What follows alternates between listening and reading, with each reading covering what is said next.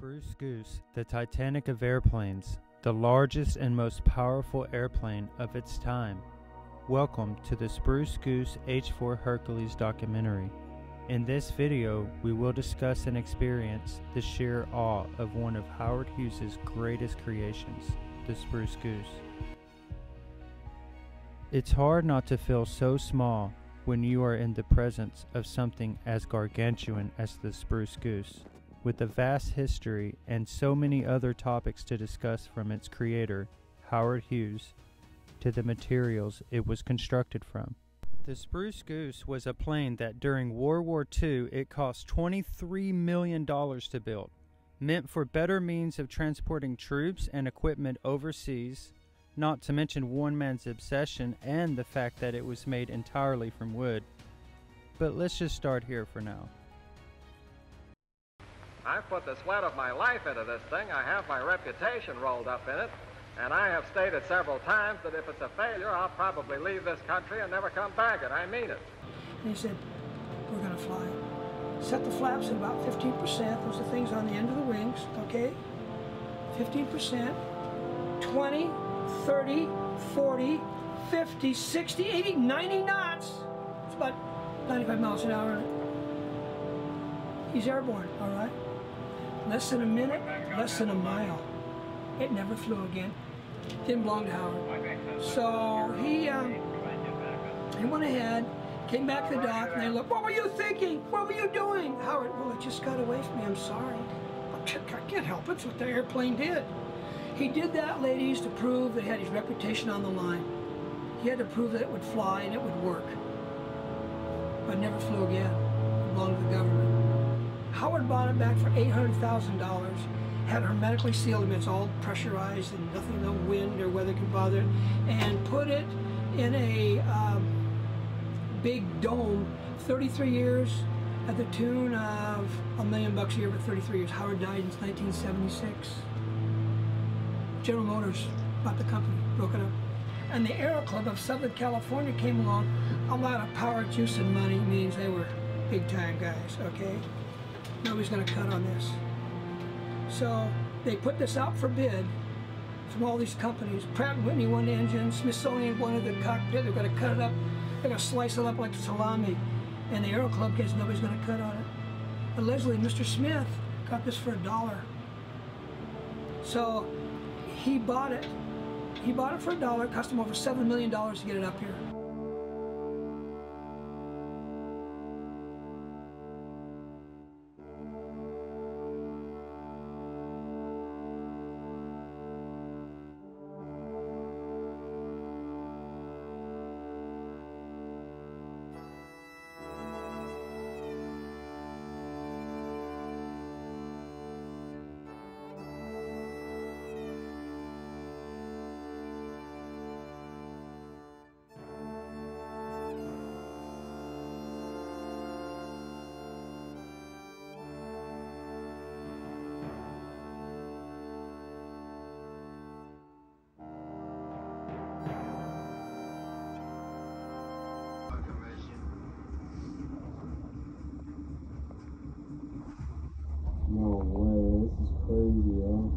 Because of wartime restrictions on steel, Hughes decided to build his aircraft out of wood, laminated with plastic and covered with fabric.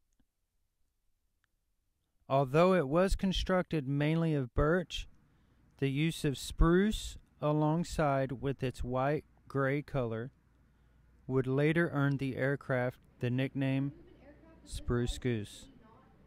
A major interstate highway or large waterway required a team of planners, schedulers, riggers, equipment, operators, engineers, mechanics, tug and barge operators, and truck loaders and drivers. So how did they move it? The goose is disassembled inside the On a side note, explained to me by a United States Air Force veteran, you'll see beach balls right here in the Spruce Goose. They were placed right underneath the wing for buoyancy because without them, it leaked.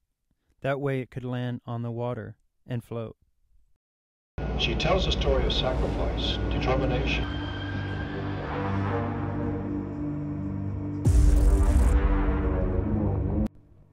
The creation of the Hughes flying boat involved many types of engineering. Not only did mechanical engineers participate in the numerous aspects of the aircraft project, but their efforts ranged from the models constructed for wind tunnel evaluation and towing basin tests through the final launching details of the completed seaplane. Mechanical engineering was involved in designing many elements of the flying boat. The jigs and fixtures for molding the aircraft parts, the fire suppression system, multiple hydraulic components such as flareless tubing fittings and slip joints, the fuel and oil tanks, the pumps and piping for the fuel and oil supplies, the oil cooling system, and the cockpit instrumentation, not to mention the design of the massive engines and full feathering propellers with reverse capability. Because this is a prototype and metal was in short supply during the war and definitely didn't like this metal. So this is all good. Yeah, that's crazy. Yeah. It actually did fly, right? Flew once, yeah, it's not a real flight, but it's about a mile, about a minute. Mm-hmm. Yeah. It's crazy. This wingspan is three hundred and twenty feet tip to tip. You put this on a football field, you go to each goal. That's so crazy. It is massive. Yeah. It's a trip. Thank you. Sure. 400,000 pound plane. 250, so it was designed to carry fuel and passengers, or whatever was in it, 150. But when he flew it that one minute, it was pretty light. He had 40 people in the air and 1,000 gallons of fuel, and it barely got off the water. Yeah.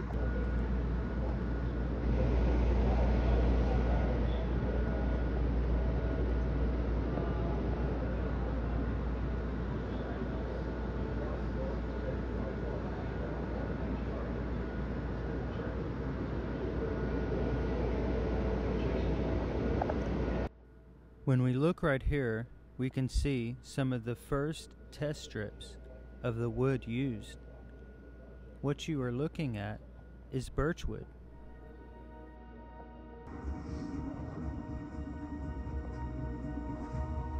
Landing near Dayton, the caravan of pieces stretched more than 1,500 feet down the narrow road. Flying boat arrived at McMinnville at Evergreen International Aviation on February 27, 1993. A Spruce Goose homecoming parade converged down the final mile on a 138-day, 1,055 In 1993, people lined the streets to see the goose's parts be transported to their new home in McMinnville. People of all ages, backgrounds, and genders were elated to see the world's largest wooden airplane. It was a unifying project from the beginning as a symbol of wartime sacrifice, determination, and technological advancement. In its construction, it brought together material experts, electrical engineers, and mechanical engineers to make the plane flyable. During its 30 years of development and storage, aviator Howard Hughes's plane was flyable at a moment's notice. In its final journey to Oregon, movers, mariners, and local government worked together to bring the plane to its final resting place. The spruce goose has gone by many names in its life, but whether it is referred to as the Hercules, the Hughes flying boat, or the spruce goose, our wooden airplane continues to be a symbol of bringing communities together. It took eight years to reassemble the Spruce Goose where it lays today.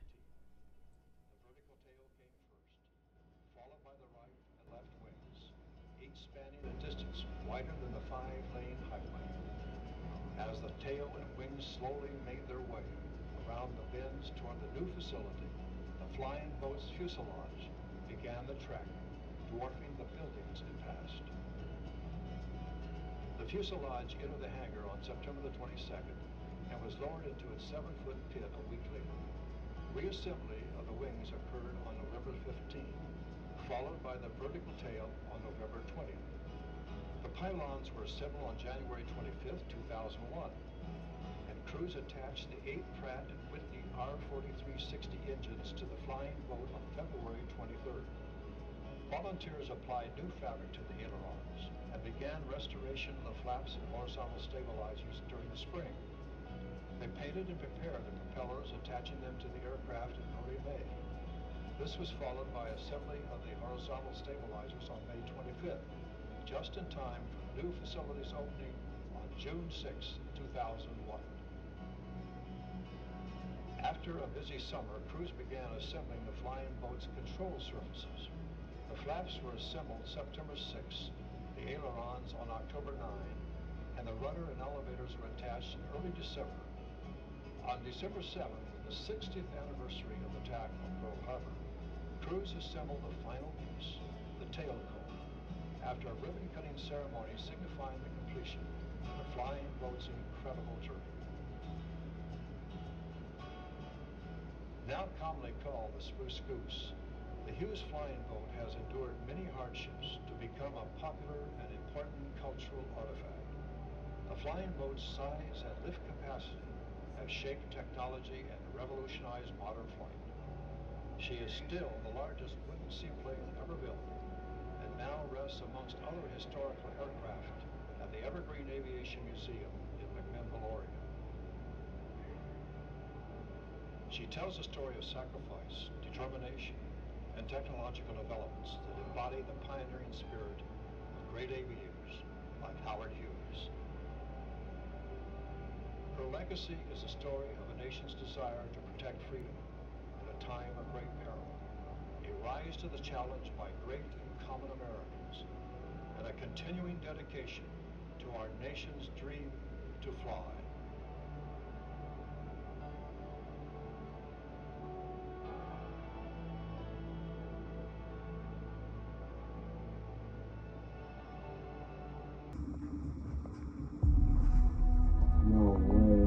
This carburetor was overhauled for Hughes's Aircraft Corporation in 1955 and was then sealed in a storage can. The engine type Pratt and Whitley R4360 WASP Major Stromberg PR100 series is a pressure injected carburetor. This model carburetor was installed on 28-cylinder Pratt & Whitley R4360 aircraft engine producing 3,000 to 3,500 horsepower each. That is seven four-cylinder engines per engine, and there are eight engines in total.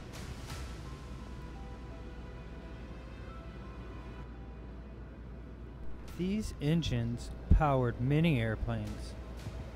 H-4 flying boat, also the XF-11, as well as the F-2G Corsair, the B-377, the B-50, the SLKC-97, the C-99, early C-119, C124, the YB35, the B36, and a few others.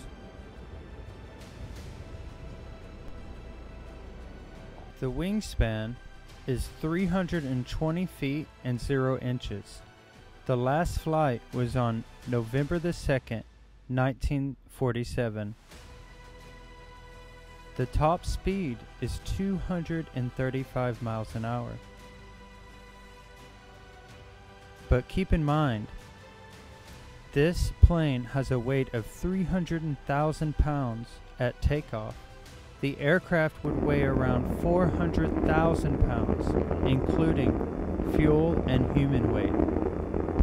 At full capacity, the Spruce Goose could carry up to 400 troops.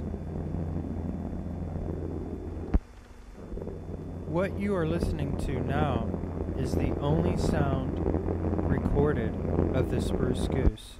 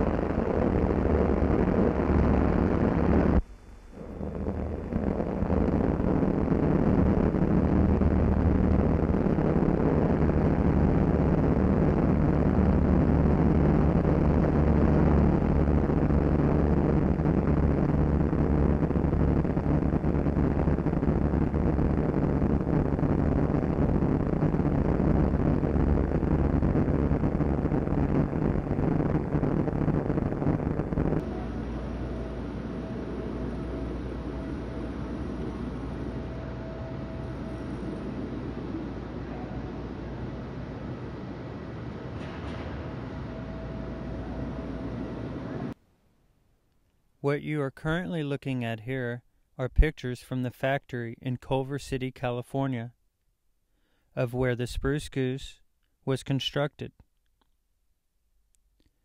This was back in 1944.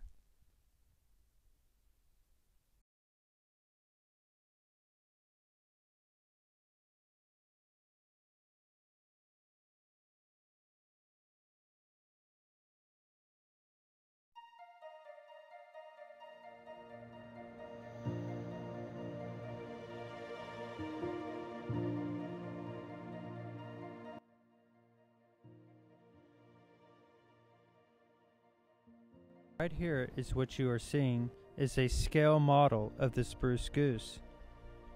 It was made as a movie set for the movie The Aviator.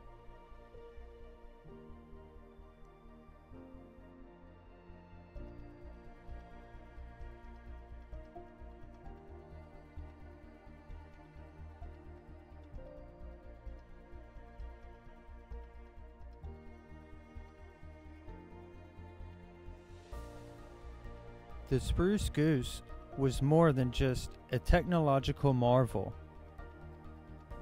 It was a lightning rod for attention in the 1940s and continues to show its roots in our cultural narrative today. Just in the 21st century, there have been numerous references in film and television. In 2004, the film Aviator was directed by renowned filmmaker Martin Scorsese and starred Leonardo DiCaprio, along with a star studded cast, to document the early career of Howard Hughes's climating in the flight of the Hughes flying boat. In 2005, the television show The Simpsons parodied the story of the Spruce Goose with, quote, the plywood pelican, end quote. In 2009, the children's show Phineas and Ferb followed the show's characters on an adventure to build a paper mache spruce goose. The television show Leverage in 2013 even takes place at this museum and follows the team as they plan to trick a corrupt airline CEO into stealing the Spruce Goose.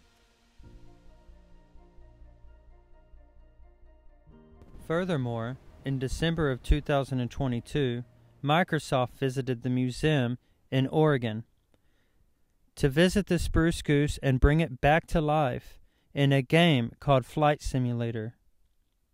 As you can see, the Spruce Goose flying here, flying high once again. Maybe not in this world, but in many others to come. That's for sure. As time progresses into the future, there will be more and more people who become curious about the spruce goose and will, in some way or form, bring it back to life, whether in their mind, in a video game, or who knows, maybe in the future there will be a modern type of spruce goose. Who's to say? But as for now, the spruce goose sits in a hangar in a museum in McMinnville, Oregon.